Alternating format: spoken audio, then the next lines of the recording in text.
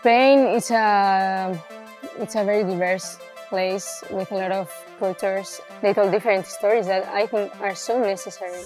Yeah, I'm really excited because I think that right now in the Spanish industry we are getting a lot of new voices. They're telling new stories. We would like to, to see more diversity at the Spanish film industry.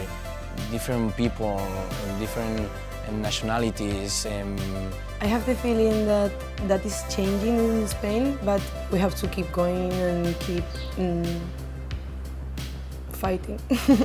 I sometimes feel that the international cinephilia knows better Spanish uh, independent cinema than the national institution or even national audiences. So I think we, we deserve to be to exist, really. And we do need to include all, all those different voices.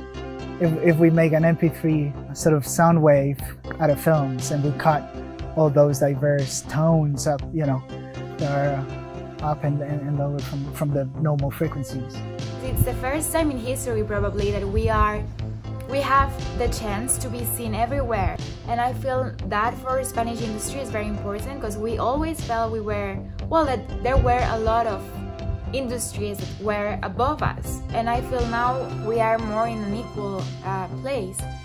And I feel for everyone to work knowing that more people are going to see you it's ambitious and it creates ambition and it creates a bigger aim. I think that with the platforms we have created a very sustainable industry where you can get money from it and, everyone is working and everyone has work and we are here now with the work and that's amazing.